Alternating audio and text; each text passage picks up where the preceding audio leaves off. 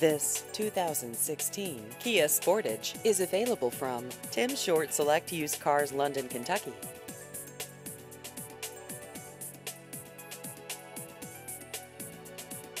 This vehicle has just over 19,000 miles.